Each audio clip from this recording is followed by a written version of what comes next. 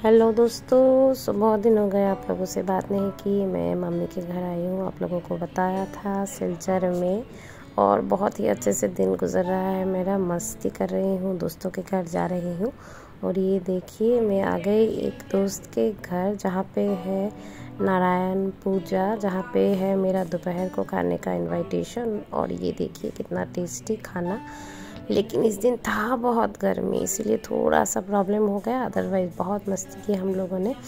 And उसके बाद मेरे भैया के साथ मुझे कहीं पे जाना था इम्पोर्टेंट काम था, वहाँ पे जाके फिर मैं और मेरे भैया ये देखिए आ गए एक छोटा सा दुकान है, लेकिन बहुत अच्छी बिरयानी मिलती है यहाँ पे। सो मैं और मेरे भैया यहाँ पे आ गए बिरयानी खाने। और ये देखिए बिरयानी सर्व हो रहा है। सो so, मैंने यहाँ पे खाया हैदराबादी बिरयानी जो बहुत ही टेस्टी सी थी।